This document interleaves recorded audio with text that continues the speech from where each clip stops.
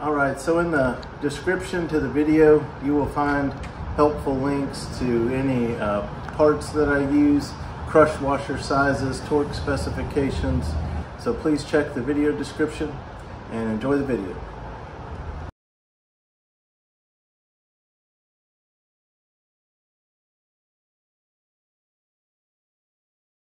All right, so we're gonna do our transfer case assembly.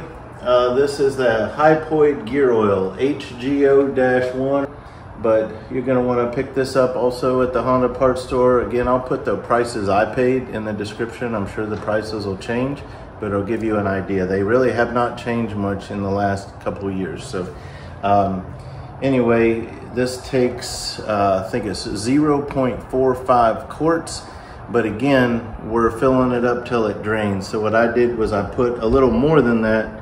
I had used this on the pilot a couple years back, and um, so it had a little over a half quart in it. I just put it all in here. And what I'm gonna do, there's two main ways to do this. Some people like using these little quart bottle things. I'll put, put a link in the description. This is where you can just screw this into your quart bottle and, and pump this but man, it takes forever. So what I'm starting to do is pour it into a pitcher like this, and then use this, I'll put links to all this in the description. Got this Mityvac uh, fluid extractor. I'll put a link in the description and uh, basically I have it apart because I always clean it out. But basically you just puts together this easy and takes apart that easy and then I'll just uh, plunge it out, you know, take it out of the pitcher, put this in the fill hole, plunge it in, and then I have to do that, you know, a few times until, until we're done. Much quicker for me than using the other. So we're gonna get under there now. We're gonna get our uh, fill bolt off, then we'll get our drain bolt off. We'll go from there. Uh, our 3 8 inch you can use a breaker bar. This is an extendable ratchet. I got at Harbor Freight um, that I like. So we're gonna use that to empty our fluid. So this is a transfer case fluid.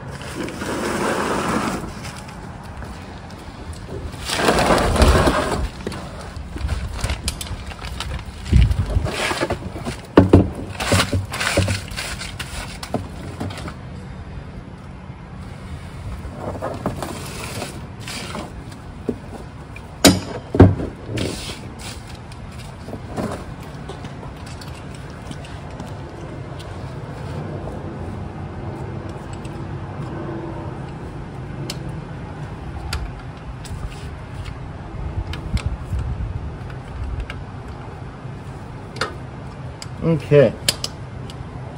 Couple things. It's too close. There's some interference. So I'm going to need a very small extension to clear. I'm also going to grab some better gloves because that looks like a potential knuckle breaker to me. All right, so make sure you make sure you got some gloves that have some real padding like on the back of your knuckles because you're going to be putting some pressure on that Got the smallest 3 8 inch extension I have just to hopefully this will work. If not, we'll figure something out.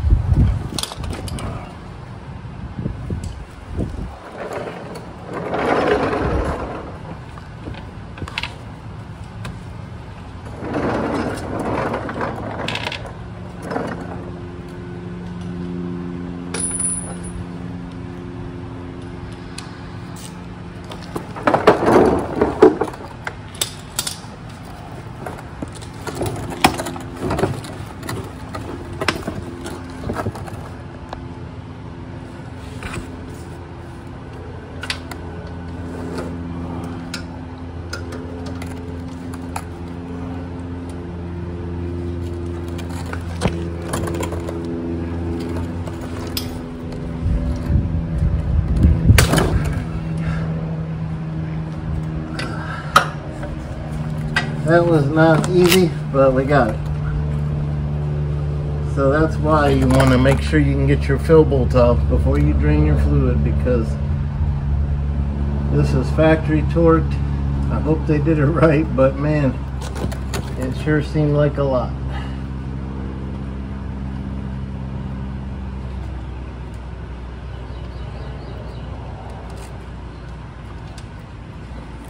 All right, so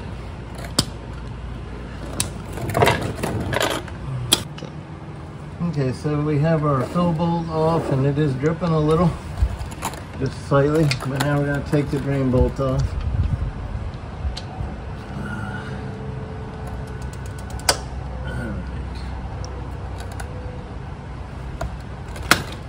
Okay, we got it. I'll try my idea again with that ratchet. Gotta get my fingers out of the way with this uh, battery powered one just to kind of keep my, my fingers out of the way when it when it breaks free. That worked nicely on the other one. I'm gonna need that extension again.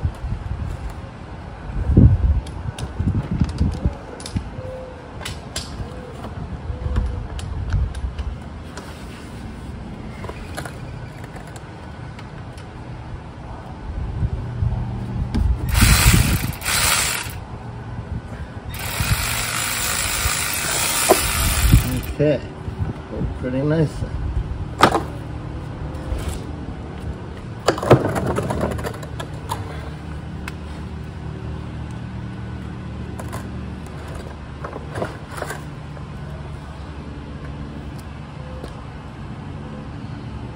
Okay, now on this one, I don't have my crush washer. You always want to look, so that means that my crush washer is still on there. Whereas on this fill bolt, see there's my crush washer right there. I need to replace both of those. I'm gonna go ahead and take that one off. But you always wanna check because if you leave one on there and you add another, you're gonna have a leak. Okay, so for these bolts, I need a 20, milli 20 millimeter crush washer for both bolts on the transfer case assembly. If you don't want to buy those somewhere else, if you don't want to order them off of Amazon or something, you can pick those up at your Honda parts store when you go pick up your fluids. So 20 millimeters times two for the transfer case job. When we get to the rear differential, that's going to need a 20 millimeter and an 18 millimeter. So if you're doing these jobs at the same time, like you probably should be, you're going to want to pick up three 20 millimeter crush washers and one 18 millimeter crush washer.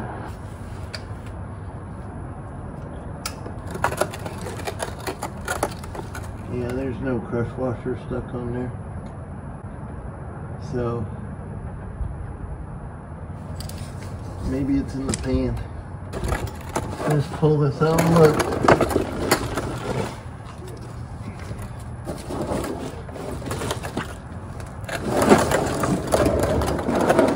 Yep, there it is. Fell off right there. So as long as it's accounted for. So good to know. Okay, so the torque specs for both these are 33 foot-pounds. So the first thing we're gonna do is put the put the, the bottom one on.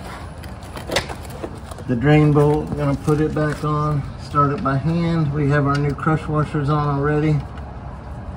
Our surfaces are all clean. We just do it by hand all the way till we make contact wipe everything up real nice, nice and dry.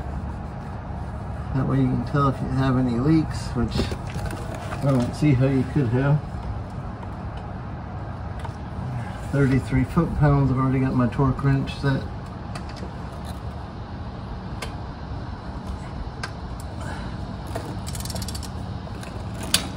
Okay, it's already there. So now we're ready to add Remember, we're going to use that Mityvac. So what we're going to do is put our plunger in our pitcher. We're to plunge up much as we can to, to limit the amount of times we got to do this. Okay. go back under here with our rag. We got our, our plastic sheeting to protect our concrete. Don't have a lot of shoulder room. So I'm gonna lift this out of the pitcher. I'm gonna put my tube in the fill. Get it all the way in there and then just plunge it in. As long as you have your tube angled down, shouldn't have any problems. Okay, so now can I do this under the car? That's the question. I may need to come out. I'm gonna come out in between. If I had it jacked up more, I may not need to, but I don't have a lot of clearance under there, so I'm just gonna come out in between. And again, alternate method would be to use that uh, would be to use that plunger. I'm just gonna use my rag instead of dragging my pitcher under the car every time I take a chance of spilling it. So I'm just gonna use a rag. Come back under here. Line it up. Get the tube kind of angled down like that. Plunge it in. It's already running out. So that's it. We're done.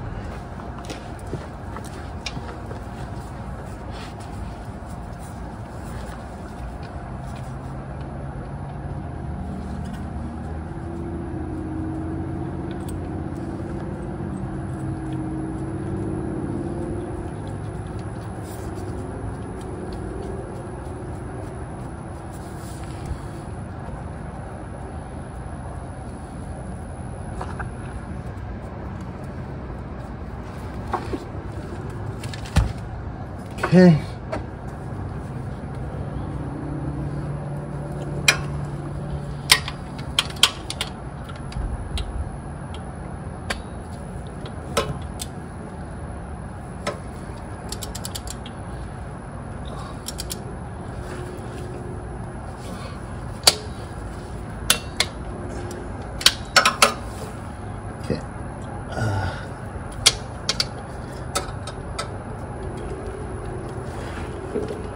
Okay. That's done.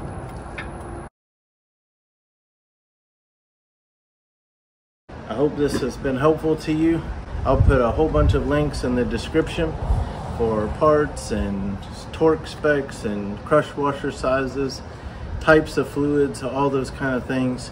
So please look in the description and uh, you'll find everything that you need there. Feel free to ask a question in the comments and thank you for watching.